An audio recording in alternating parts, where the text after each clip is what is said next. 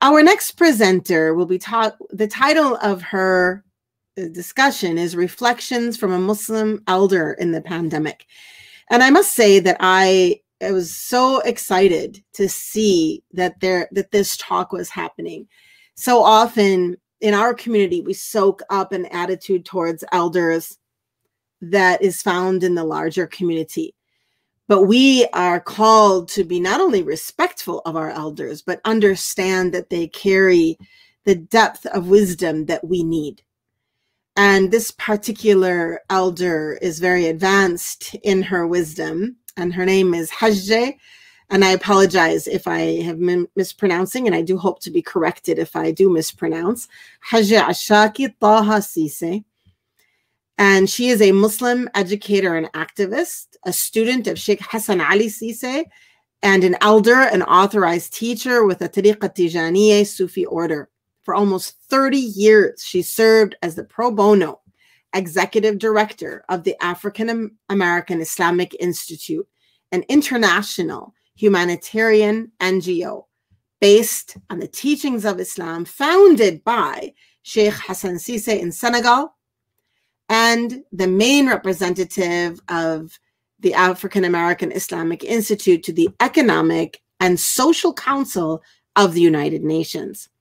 During her career as a woman's health advocate and international maternal and child health consultant, she developed and directed programs for women with HIV, AIDS, alcohol, and other drug addictions, and worked to establish primary and reproductive health clinics in rural, medically underserved communities in Africa and the Caribbean.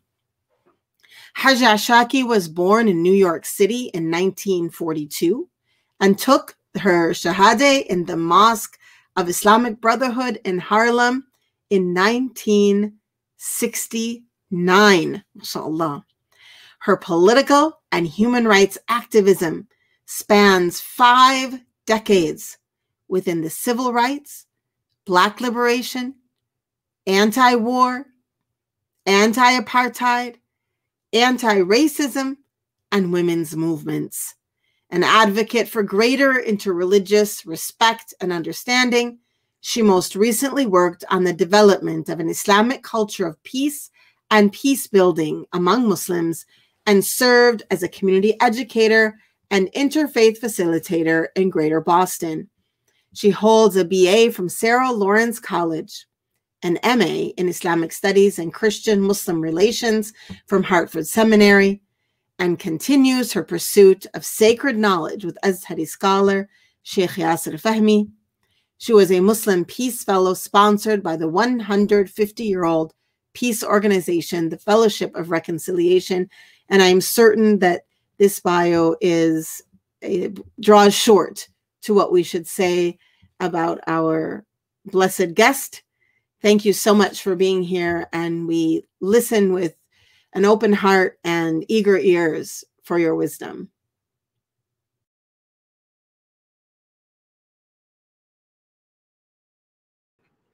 Bismillahirrahmanirrahim. Wassalatu wassalam ala, Rasulullah sallallahu alayhi wasallam.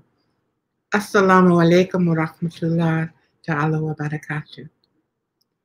Alhamdulillah, I am so grateful to Dr. Ingrid Mattson for this opportunity to bring the multidimensional concerns and needs of many elders within the Muslim community to your attention.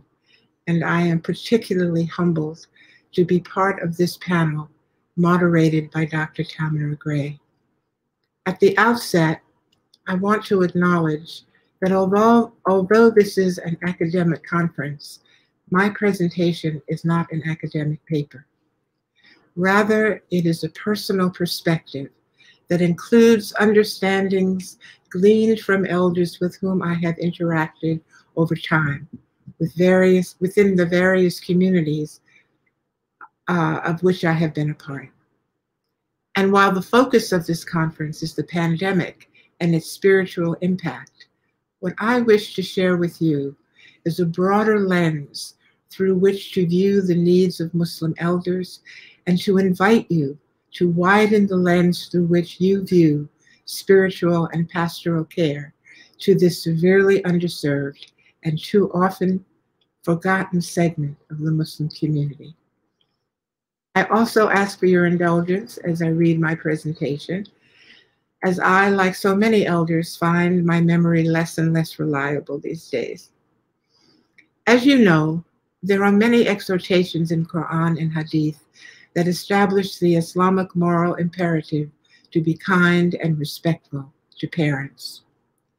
In Surah Al Isra, ayat 23 and 24, Allah subhanahu wa ta'ala says, Your Lord has commanded you to worship none but Him, and that you be kind to your parents. If one or both of them reach old age with you, do not say a word of disrespect or scold them, but say a generous word to them and act humbly to them in mercy. In Surah Al Nisa, ayah 36, Allah subhanahu wa ta'ala says, Worship Allah and join none with Him in worship, and do good to parents.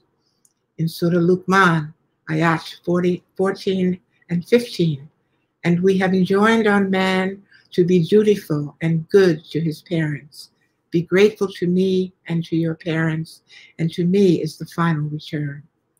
In Surah Al Ankabut, Ayah 18, Allah says, and we have enjoined goodness to his parents. Our Habibullah Mustafa Muhammad sallallahu alaihi wasallam has said in a sound in sound ahadith, those who do not show mercy to our young ones and do not realize the rights of our elders are not from us. Abu Huraira radiallahu anhu reported that the Prophet sallallahu alaihi wasallam said, "May he be disgraced May he be disgraced. May he be disgraced whose parents, one or both, reach old age during his lifetime, and he does not reach Jannah by being dutiful to them. And in another hadith, one who is aware of the excellence of old age and respects it, Allah will save him from the terror of judgment. In addition, Imam Ali radiallahu anhu said, the dignity of the old age is dearer to me than the merriment of the youth. And in his Adab al Mufrad, al Ashari states, part of respect for Allah is to show respect for the old Muslim. As Muslims, we understand that the loving treatment of our parents that is commanded by Allah subhanahu wa ta'ala, consistently advised by the Prophet sallallahu alaihi wasallam, and held sacred in Islam, is extrapolated to elders in general. Yet, the lived reality of too many of our elders does not reflect this shared mandate. Looking at two primary cohorts of Muslim elders in our communities, there is a distinction between those born into Islam from traditionally Islamic countries, typically living with their adult children, and those who embraced Islam in the Western Hemisphere, typically living alone and in many cases with adult children who may not be practicing Muslims and some not Muslim at all. The differing cultural attitudes toward aging and elders within these cohorts could not be more stark. While Islamic societies generally value, respect, and care for their elders, Western societies tend to view elders as a burden to be sent to nursing homes once they can no longer live independently. It is also important not to overlook the reality that even elders who live with their adult children may have many of the same concerns as those who live alone. However, talking about their concerns with their children may not be consistent with their cultural norms and therefore remain unaddressed. Additionally, it would be disingenuous not to acknowledge that elder abuse also exists within the Muslim community. Astaghfirullah. There are many sources of anxiety for Muslim elders, all of which have been exponentially exacerbated by the pandemic. As you will see, these issues span the gamut of physical, mental, financial, psychological, and spiritual concerns. I invite you to begin the essential process of acknowledgement.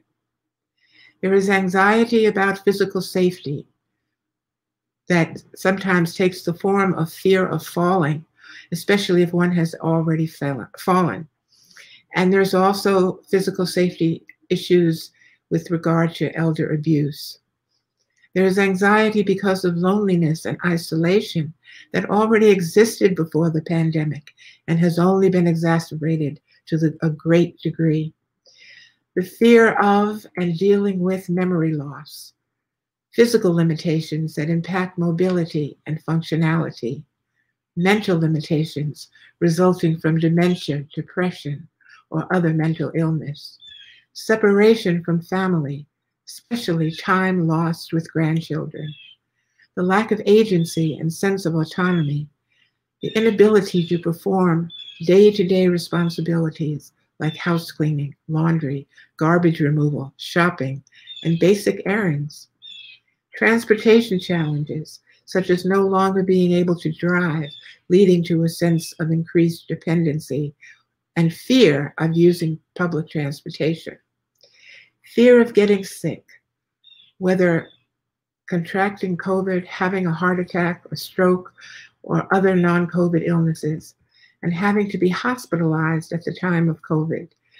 Worse, perhaps, is the fear of not being able to be hospitalized because of lack of bed space, or to be hospitalized and to contract the illness while in the hospital.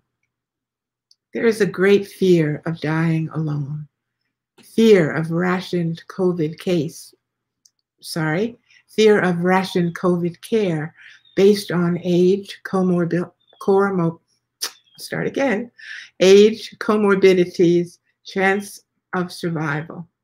There's financial insecurity leading to homelessness, fear of it, fear of food insecurity, fear of being put into a nursing home, loss of family and friends and the deep sorrow that accompanies it. Sadness over the state of the world their grandchildren will inherit. Sadness over the inability to pray in Jumu'ah. Death related concerns, specifically the ability to adhere to 50 requirements regarding the washing of the body, the janazah, and the burial. In addition to these sources of anxiety, Many Muslim elders are experiencing marginalization, a sense of invisibility as a result of not being sought out, not noticed, not engaged. Despite constituting a rich repository of wisdom born of life experience, education, and professional achievement, the wisdom within our community of elders is routinely overlooked. We don't seek their advice and although ours is a religion of shura, consultation, we don't consult them. This contributes to fear, feelings of irrelevance, uselessness, and despair. Now that we have a sense of elder concerns, I would like to use this time to offer some suggestions for chaplains.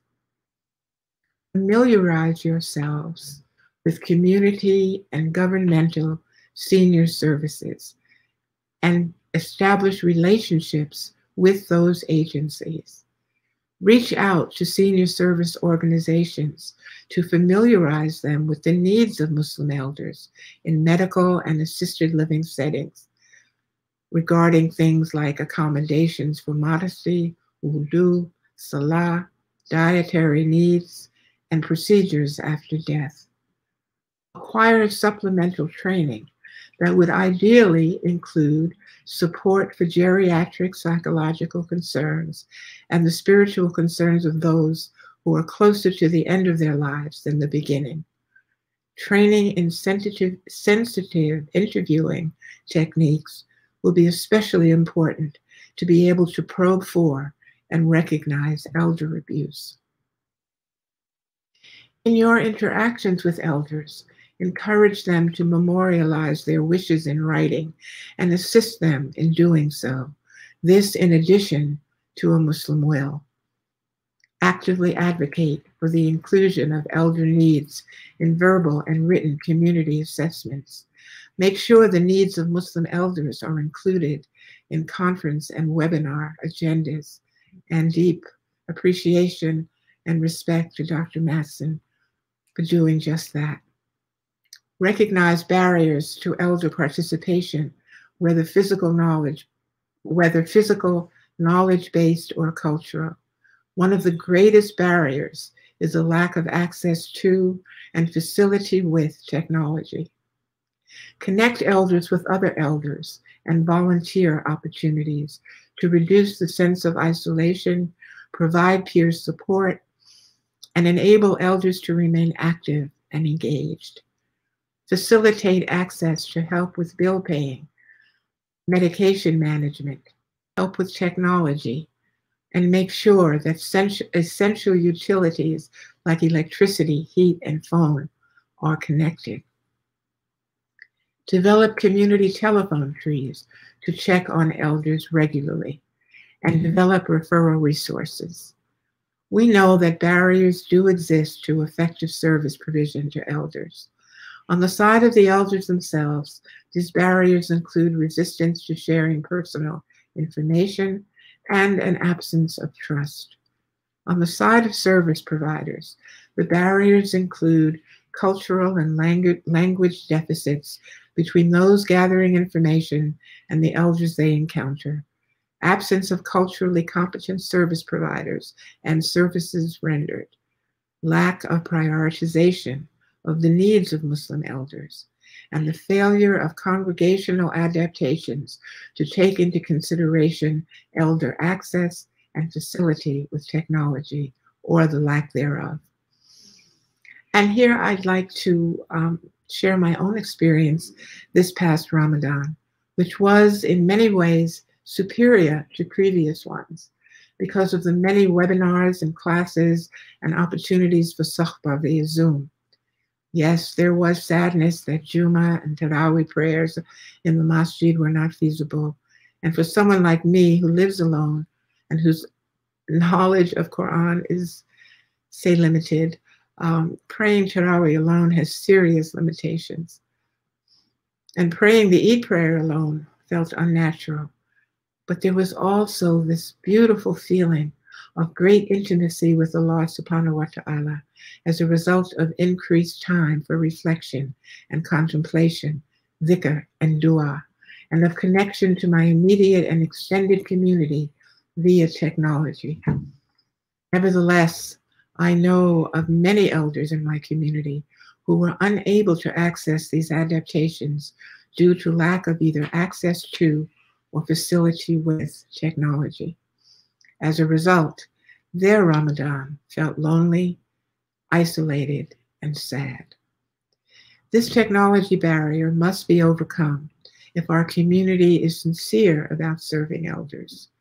I am encouraging you to think about effective ways to address this daunting deficit that not only affects the ability of elders to benefit from congregational adaptations, but also affects their ability to benefit from telemedicine and telecounseling during the pandemic when they may fear in person appointments and home visits due to their vulnerability to the virus.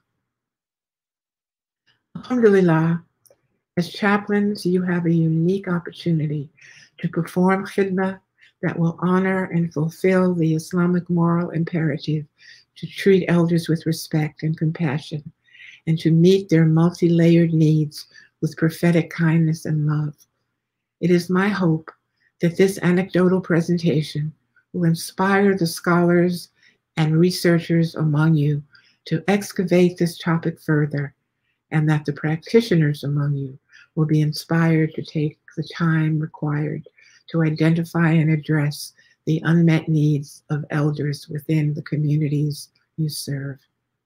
Thank you so much for giving my reflection your attention. I'm looking forward to a robust discussion. Assalamu alaikum wa rahmatullah.